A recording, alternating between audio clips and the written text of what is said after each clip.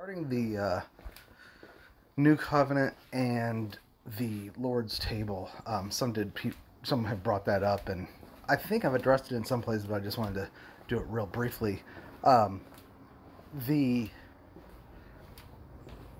the thing that the Lord commem the, the the supper that the Lord had was a Passover with his disciples, and it fit in the seven day model of the old creation. Um, the new creation starts on the first day or the eighth day. Uh, we're we are of the new creation, and that's why the church started s- immediately began in resurrection by commemorating and showing forth the Lord's death on the first day or the eighth day. They didn't do it on the Sabbath. And you know, the Adventists say we're wrong for doing that. We change the times. But no, from the very beginning, they were breaking bread on the first day of the week to represent resurrection, represent new creation. Now, the new creation was a mystery.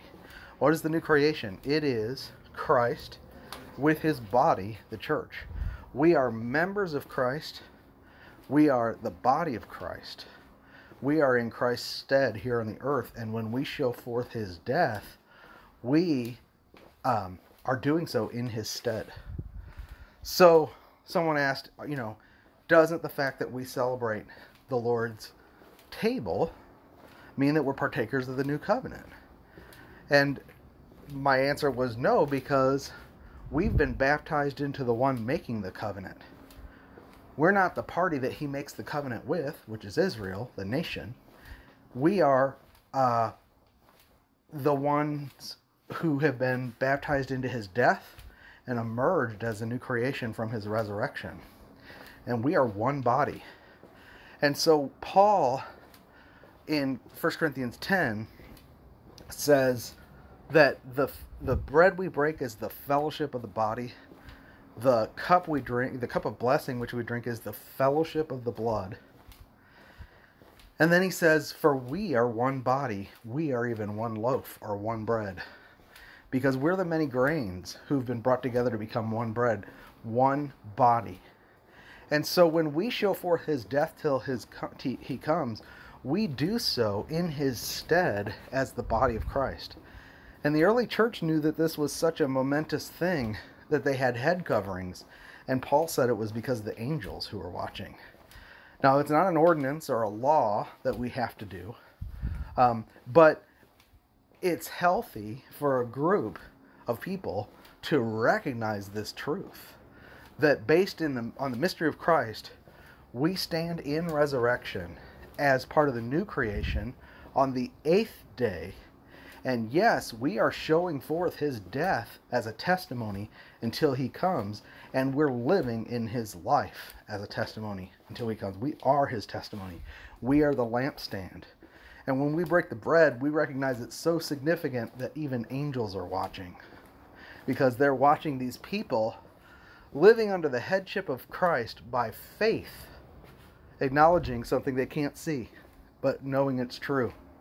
It's really a big sign. Again, we don't have to do that. It's it's. Um, I I don't believe we're under a law to keep it, like, keeping the feast or something like that. Um, but it is an enjoyment by grace to do so. Uh, when it's actually done under the realization of who you are in Christ. And, you know, I met with that one Chinese church I talk about quite a bit, but when we came together, we would all stand in the middle of the we would we met in a square and there was the bread on the table in the middle.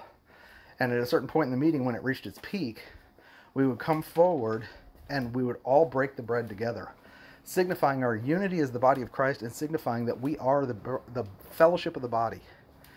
And when Paul says in Corinthians, you know, is uh, some of you say is you're of Paul, some of are of, of Cephas, some of Apollos, some of Christ. His answer is, is the church divided? No, he didn't say that. He said, is Christ divided? Is Christ divided? The realization he wanted them to see was that we are Christ. We are his body. And then again, when he says, you know, for as the body is many members, and not all members are the same, and the head can't say, I have no need of you to the feet. he says, so also is the church. No, he didn't. He said, so also is the Christ. Paul's revelation is that we are the body of Christ. The church is his body, which is his fullness. And this body is called the new man. It's a new creation out of his side, out of his resurrection. Okay? And we are reckoned as being him. We are clothed with Christ and have put him on. And we come to the Father in Christ. And everything that Christ has is ours and we are co heirs with him. And as he is, so are we in this world. That's how God sees us. We are a fragrance of Christ unto God uh, because he dwells in us. We have been brought into that union. He said, In that day you will know that I am in my Father, and my Father is in me, and I in you, and you in me. That is the unity of the body of Christ. And when we break bread, we're not just celebrating the Passover like they did at the Last Supper we are celebrating our place in the victory of Christ in front of the angels. We are celebrating and, and testifying of his death and resurrection, which produced a new creation, the new creation of God, the new man, the body of Christ. And we're one with him. So, are we another party in a covenant that he's making? No. We are one with the one making the covenant.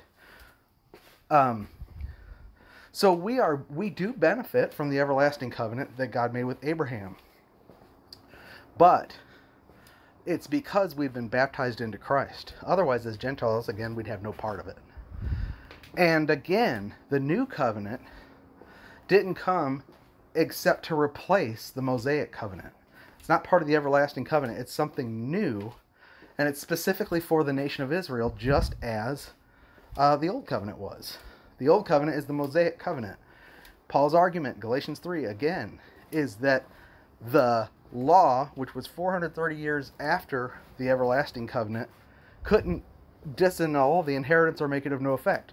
And our inheritance comes because we are Abraham's seed. How are we Abraham's seed? Not by genetics from ourselves, but by being baptized into Christ and having put him on. We are clothed with Christ. So we are one with the one who is the heir of all the covenants.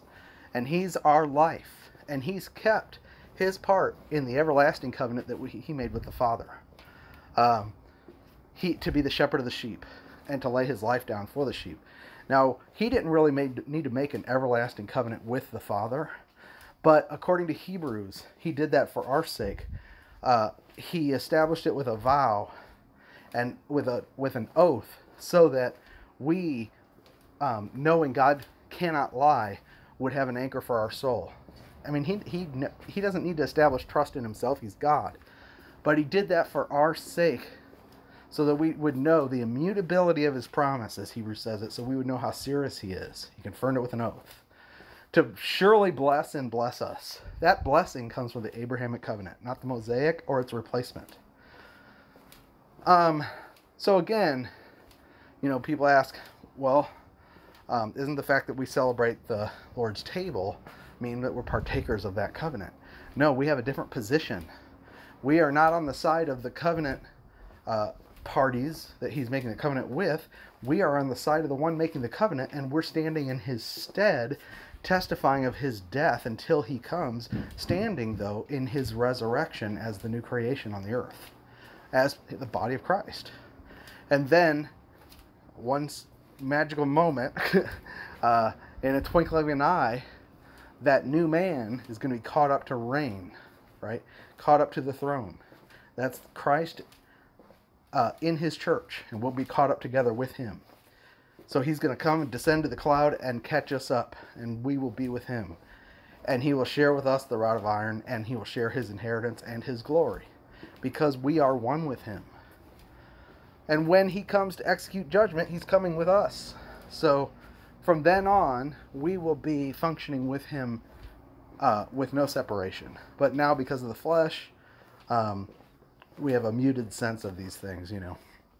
But I think that the Lord's table is far more significant than we realize when you remember that the church, when he celebrated that Passover, the church was still a mystery that had not yet been revealed Paul says that that mystery couldn't be revealed because if the princes of this world had known it, they wouldn't have crucified the Lord of glory. It would have stopped the whole thing if they'd known what he was going to produce through his death and resurrection.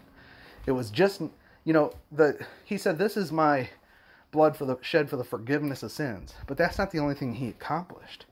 He, in his death, produced and created the new man, which was something that had never even been heard of before. So, the Lord's Supper, that Last Supper, that last night, is not the end all be all for our position in Christ. His resurrection is.